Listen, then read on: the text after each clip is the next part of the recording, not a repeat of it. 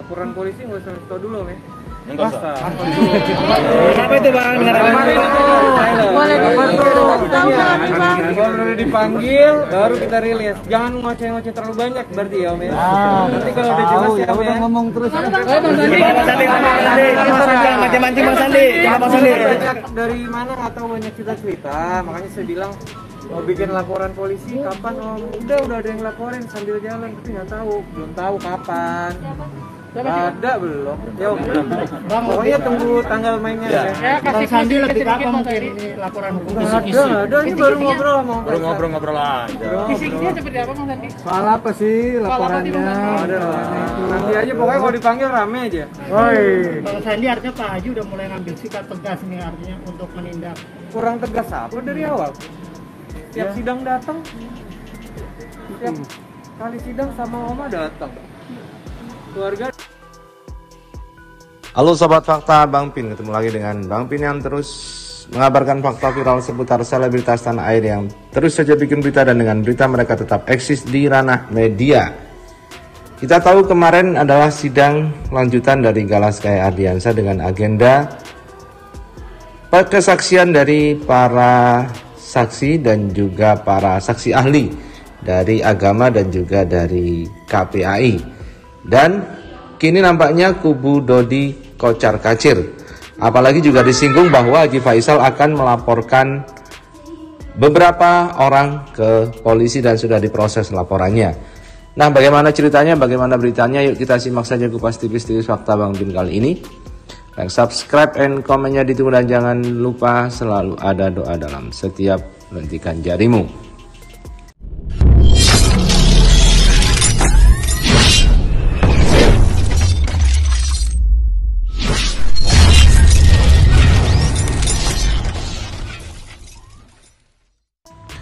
Kita langsung dari Great Fame. Kalau dipanggil rame aja. Kubu Dodi Sudrajat kocar kacir. Diam tutup pintu damai, bergerak laporkan haters alair. Haji Faisal bocorkan sudah buat laporan polisi untuk orang-orang ini. Haji Faisal bikin kubu Dodi Sudrajat kocar kacir guys. Soalnya diam-diam Haji Faisal sudah membuat laporan polisi untuk yang menyerang keluarganya yang meresahkan. Seperti diketahui, di media sosial terdapat banyak akun berkedok fanbase untuk mendukung keluarga Dodi Sudrajat. Namun isi unggahan akun tersebut kebanyakan memojokkan keluarga Haji Faisal, terutama Fuji dan Fadli. Bahkan tiba-tiba saja akun-akun itu menjelma menjadi akun-akun bodong dan sangat banyak. Akun-akun bodong itu turut meninggalkan komentar jahat ke keluarga Haji Faisal. Tak sampai di situ mereka juga menyebar fitnah terhadap Bibi Ardiansa dan Vanessa Angel. Sekilas Haji Faisal dan keluarga nampak tidak menggubris akun-akun itu. Mereka terlihat fokus pada perkembangan Galaskai dan juga bisnis mereka. Tapi siapa sangka mereka bisa jadi mematikan loh. Hal itu diketahui dari unggahan video yang diunggah oleh akun The Power of Netizen. Setelah persidangan hak perwalian Galaskai, Haji Faisal dan kuasa hukumnya ditemani keluarga menemui wartawan. Mereka menjelaskan agenda sidang hari ini adalah keterangan ahli hukum Islam yang dibawa oleh Haji Faisal. Ada dua ahli hukum Islam yakni dari UIN dan dari UNJ, Universitas Islam Negeri dan Universitas Negeri Jakarta. Kedua saksi disebut menjelaskan hubungan Islam, hadonah dan hukum perwalian. Kuasa hukum Haji Faisal Wijayono Hadi juga mengumumkan bahwa sidang selanjutnya adalah tanggal 9 Maret mendatang dengan agenda bukti tertulis dari tergugat.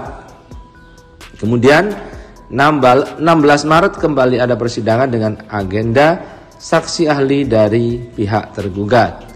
Tiba-tiba saja Wijayono Hadi menyinggung soal laporan polisi. Laporan polisi nggak usah dikasih tahu dulu ya. Tanyanya pada Haji Faisal. laporan polisi nggak usah tahu dulu itu bang? Tentu saja pernyataan itu membuat wartawan penasaran karena selama ini Haji Faisal nampak diam-diam saja. Namun sayangnya Haji Faisal dan kuasa hukumnya belum mau berbicara banyak. Kalau udah dipanggil baru kita rilis. Jangan ngoceh-ngoceh terlalu banyak ya Om ya. Lanjut Wijayono Hadi. Kalau udah dipanggil. baru kita rilis. Jangan ngoceh-ngoceh terlalu banyak berarti ya om ya. Sepertinya Haji Faisal sudah melaporkan beberapa orang dan juga haters yang selama ini membuat kegaduhan dengan memfitnah keluarganya. Gak tahu dari mana, banyak cerita-cerita. Makanya saya bilang mau bikin laporan polisi kapan om?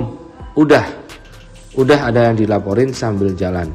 Pokoknya tunggu tanggal mainnya aja ya, ujar Wijayono Hadi lagi. nanti kalau udah jelas ya ya. ngomong terus. Bang. Sandi, Bang Sandi, mancing-mancing Bang Sandi. Bang Sandi. dari mana tahu banyak kita cerita? Makanya saya bilang mau bikin laporan polisi kapan om? Udah udah ada yang laporin sambil jalan tapi nggak tahu. Belum tahu kapan. Ada belum. Ya om. Pokoknya tunggu tanggal mainnya ya. Yang jelas disebutnya kalau sudah dipanggil siapa-siapa saja orangnya, pasti keadaan menjadi ramai. Bocorannya orangnya lebih dari satu. Nanti aja. Pokoknya kalau dipanggil rame aja. Jadi yang dilaporkan dan kawan-kawan. Pungkas Wijayono Hadi. Bang Sandi lebih apa mungkin. ini laporan hukum. Nggak ada nggak ada. Ini baru ngobrol sama Baru ngobrol-ngobrol aja. Kisi-kisinya seperti apa Bang Sandi? soal apa sih laporannya? ada lah. Nanti aja pokoknya kalau dipanggil rame aja. Woi. Bang Sandi artinya Pak Haji udah mulai ngambil sikap tegas nih artinya untuk menindak. kurang tegas apa dari awal? Tiap sidang datang? Tiap kali sidang sama oma datang. Keluarga Hal itu membuat netizen senang dengan langkah hukum yang diambil oleh Haji Faisal. Karena selama ini netizen sudah gemas dengan banyaknya akun-akun yang menyerang Haji Faisal.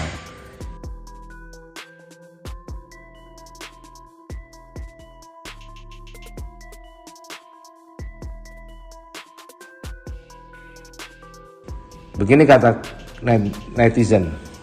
Begitu seharusnya Pak Haji Faisal. Dari dulu kenapa supaya tidak ramai dan berlarut-larut. Ini baru yang ditunggu-tunggu. Sikat habis, jangan ada yang tersisa. Itu baru Pak Haji keren.